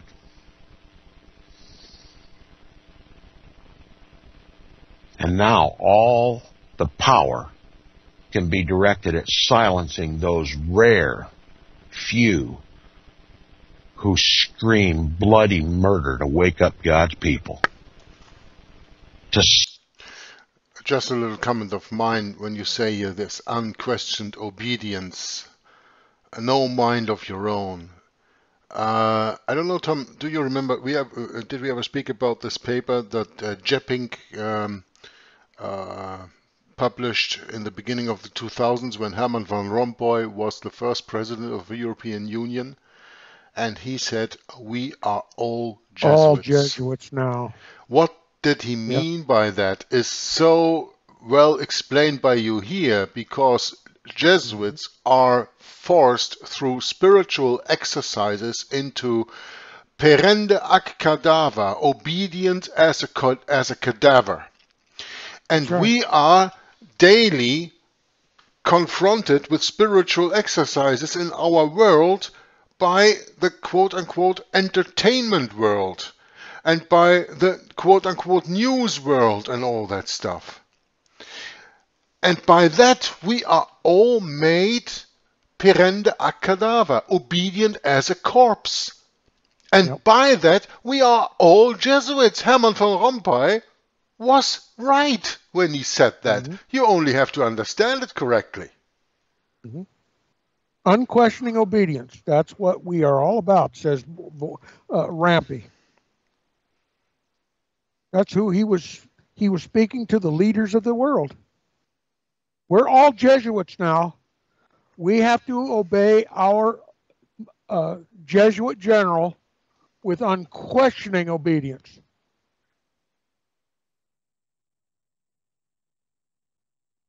That that's who the governments of the world serve. That's who the governments of Europe serve. And uh, it's openly discussed now. If von Rampai, I cannot pronounce his name correctly, but if he can stand in front of European leaders and say publicly, we're all Jesuits now. Who's going to come on Inquisition Update and argue with me? Who's going to accuse me of making false accusations against the papacy? Who's going to accuse me of misrepresenting the Vatican Jesuit led New World Order when it is publicly discussed?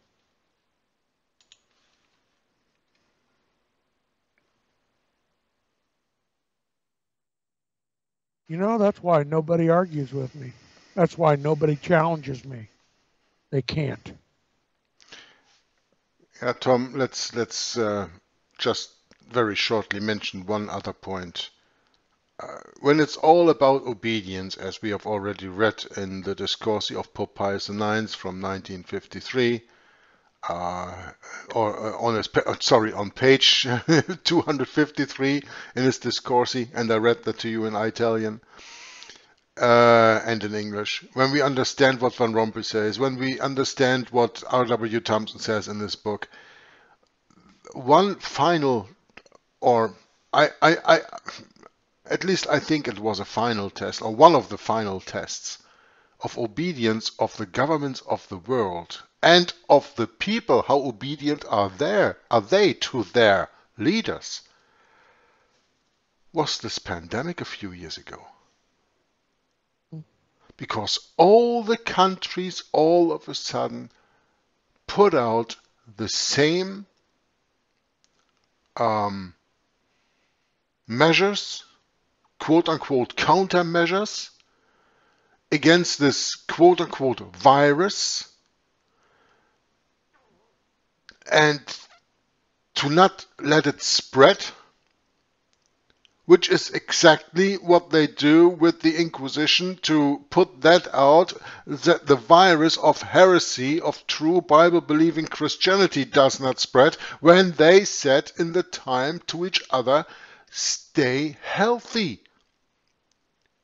They said that to the inquisitors when they went into heretic country, stay healthy. And they did not only mean do not catch the plague or something else, but stay healthy mentally, stay to the true teaching of the Roman Catholic Church and be not infiltrated with the teaching of the Bible and the teaching of the heretics. We are not fighting against flesh and blood, but we are fighting against spiritual powers in high places.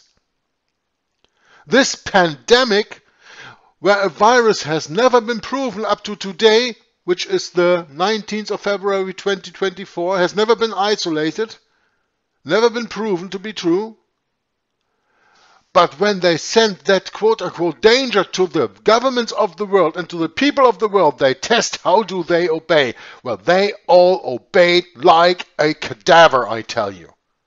Well, I'll tell you what, in a day, uh, when the cameras panned over the countrysides of every nation in the world, be it Siberia, Japan, Vietnam, Australia, New Zealand, South and Central America, Canada, the United States, the Arctic, the Antarctic, eh, the, when the cameras panned over the nations of the world, all of a sudden in a day, everybody was wearing a mask. Now, that doesn't happen unless there's a global government. And the question you must ask who is this global government? Now you know. Now you know. You don't you don't have to go away ignorant when somebody talks about the nameless, faceless, rich ruling elite. You know who that is now. When when when George H.W. Bush talks about a nameless, faceless, shining city on a hill, now you know who he's talking about. And don't pretend to be ignorant to spare yourself responsibility to tell somebody else. We're all going to be held account for what we do now. From now on, we're going to be held account for what we do and what we don't do. Who are we going to serve? That's the question but Shadrach, Meshach, and Abednego answered, and we've got to answer the same question. No exceptions. No one gets a pass on this.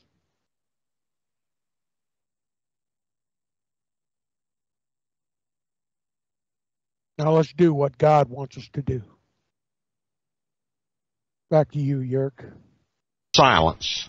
Whatever minor opposition there might be.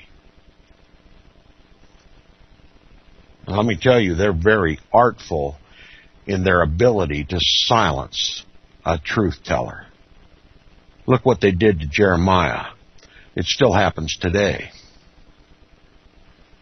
Now, Archbishop Manning is beyond all question a man of eminent ability, far too sagacious not to see the results which must logically follow these papal doctrines, this absorption of all power within the illumin- illim- illimitable domain of faith and morals by an infallible pope and therefore observing the present condition of the Christian world and seeing the nations hitherto Roman Catholic gradually conceding to the people more political rights than they ever enjoyed before, and witnessing the fact that the Roman Catholic people of Italy have solemnly decided whether wonder, with a wonderful unanimity that the Pope shall be King of Rome no longer, but a mere bishop of the church, he breaks out in these doleful words. Quote, But what security has the Christian world?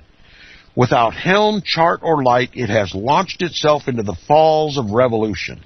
There's not a monarchy that is not threatened. In Spain and France, monarchy is already overthrown. The hated syllabus will have its justification. The syllabus which con- condemned atheism and revolution would have saved society. But men would not. That's right, at the time of the writing of this book in 1876, at the time of the writing of Pope Pius IX's encyclical and syllabus of error, the whole world was rejecting the papacy and demanding that he not be king. That if he was to be anything in this world, he was to just be a bishop like all other bishops. And these were Roman Catholic countries, hitherto ruled lock, stock, and barrel by the papacy. Their kings were crowned by the papacy. Their crowns were removed by the papacy. They all swooned at his feet, did his bidding in the world, but now they all rejected him. Everywhere in the world except Protestant USA. Did anybody ever tell you this before? It was the Roman Catholic nations of Europe that overthrew the temporal power of the Pope. They were sick and tired of the tyrant of Rome. Many of them even had the courage to call him Antichrist. At the time when the papacy seemed dead, there was absolutely no strength left in the Pope to, to, to persecute anyone. He had to resort to begging, begging anybody to obey him and give him, give him back what he so blasphemously arrogated to himself the divine right to rule. The papacy was reduced to beggary. But not here in the United States. Not here in Protestant USA. He said, I am Pope nowhere in the world but in the United States of America. Isn't it amazing? He said the syllabus of error would have saved the world. But men would not. Men wouldn't accept the syllabus of error. They rebelled against Pope Pius IX. They put him in his place. He was a prisoner of his own Vatican walls. He didn't have a voice anymore anywhere in the world except in the United States of America. It continues, he says, they are dissolving the temporal power. of the Vicar of Christ. And why do they dissolve it? So says the Pope. Listen to what he says. Because governments are no longer Christian. Governments are no longer Christian. That's right. A government that stands up and says, Pope, go home. We have Christ. We don't need Antichrist. We'll govern ourselves according to the Scriptures. The Pope says those governments are no longer Christian. See where we're headed with this ecumenical movement to unite with the Roman Catholic Church? If you're going to have a Christian government, it must obey the Pope, unquestioningly. Is that what you want? See you next time on Inquisition Update.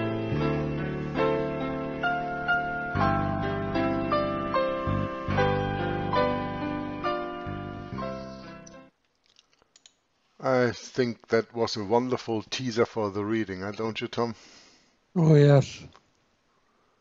Yeah, I am Pope nowhere in the world but except Rome. the United States of America. But uh, United States of America, yeah.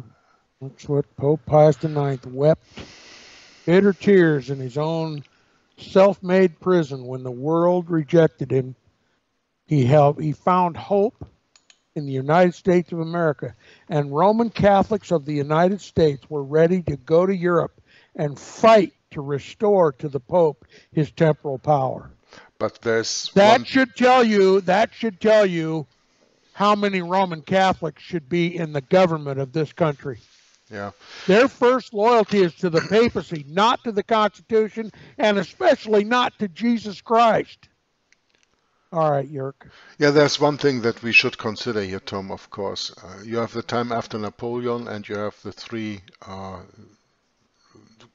meetings that were held in uh, Vienna, Curie, yeah. and uh, what was the third one? I, I, don't know. Um, you had these three meetings between 1815 and 1822. Yep. And that was held right after the reinstallation of the Jesuits in 1814. Yep.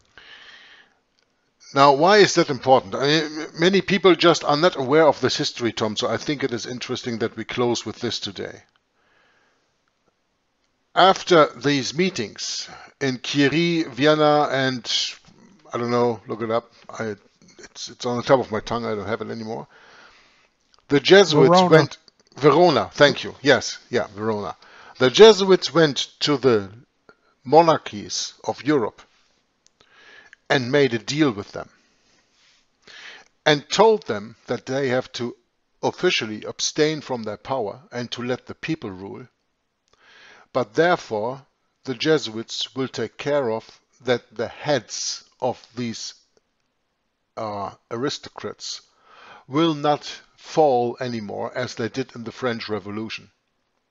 Uh, the French Revolution was completely Jesuitical. Yeah, it was Freemasonry, but Freemasonry was run by the Jesuits. So, right. and what did they do? They killed all the uh, aristocrats. They beheaded them. And they told them after these meetings, and in these meetings, you have to play along with us. You abstain from your power as a monarch. You will be installed as a monarch like we have today over here in Belgium. Belgium still is a kingdom. We have a king, as you have a president, but he is just a representational, representational figure. He doesn't have quote unquote power as a monarch used to have. And you have the same in Denmark, and you have the same in Netherlands, and you have the same in Spain, and you have many kingdoms over here in Europe still. But they don't have the power anymore. But they installed power by the people. They installed governments of the people, by the people, for the people. But what they did not tell the people up to today is that they infiltrate all the parties who run these quote unquote democracies.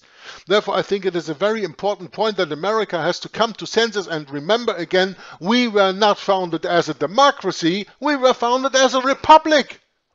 That's right. And the republic has a completely different juris, juris, juris, ju, juridical. Jurisdiction. Sometimes these words kill me. Yeah. uh, structure than than uh, than these democracies. So the point is, when they installed all these democracies, they installed them in Italy, and Italy was the last one that fell with this um, uh, with Garibaldi, you know, who, uh, who who took who took the papal states, and when that quote unquote wound was afflicted, and then uh, 1870 you have the uh, Declaration of Infallibility, and then in 1929 with the Lateran Treaty you have the so-called restoration of that, uh, uh, the healing of the wound. Um, this is this is all planned long ahead, just to take away. Uh, just to blind the people, to tell them, see, the monarchs don't have any power anymore. You have the power. But the problem is that every political power, every politi politician everywhere is not only Jesuitically, but papally approved. That's right. There is no politician in the world that has not the approval of the papacy. And then they do the play, as you can read in the Jesuitical oath, that you are playing on one side and that your brother Jesuit is leading on the other side. Overtly, you are against each other, but behind the scenes, of course, you play together, so that in the end, Ad majorem Dei gloriam, the church will be the winner. They blind the people with the idea that the people have the power. And as we said earlier in this broadcast, you can whether choose blue horse manure or red horse manure, but you get horse manure because they don't tell you that they control all these and that what you get is the same manure. Yep. But they told the people, oh, we, you, you have no monarchy anymore. There is no authoritative government anymore because the king is authoritative, right? Is ultramontane, especially when we speak about the Pope. But the Pope controls all these political leaders, all the democracies, all the uh, quote unquote republics, and all the monarchies anyway. So, these meetings Verona, Chieri, and Vienna were very important and they put a blindfold upon the people. They let the, the people take the revolutions. And of course, the papacy took a blowback uh, officially. But this is just the Jesuitical tactics of to blow a cover to install another one. That is Sun Tzuan war tactics. That's right that has been written by a Jesuit. That's right. Blown cover as cover. That's what they call it. That's what's it, what it is all about. And once you see that, you have a clear view like Tom and me. And you can only have this clear view when you have the Bible next to it and you understand what God told you already in all in the beginning about it. So it is the Bible on the one hand, and it is true history that the papacy will not accept it if you if you throw it in his face, but you have to throw it in his face because that's the only argument you have. You have the Word of God and you have true history, and that's it. And then you got it. And I hope that you now will be looking forward to the publication of this wonderful book reading of Tom of the Papacy and Civil Power by R.W. Thompson. And of course, I will leave Tom for the final words of this very long but very important broadcast today. Thanks for watching and listening. And please, Tom, your final thoughts on today. Yes, my final thought is this. By now, the listeners should clearly understand what a disservice they've done to themselves, to their families, when they believed in and preached a future Antichrist. A single individual that doesn't come on the world scene until just three and a half or seven years before Christ returns. What we've shown you in history is the historical Antichrist, the papal Antichrist the prophetic Antichrist, the biblical Antichrist. And now you know what a disservice, what a horror futurism is. And why the vast world can't tell you who the Antichrist is. You now know who the Antichrist is, was, and always will be. And no one will ever be able to deceive you again. And a word from me you're very welcome.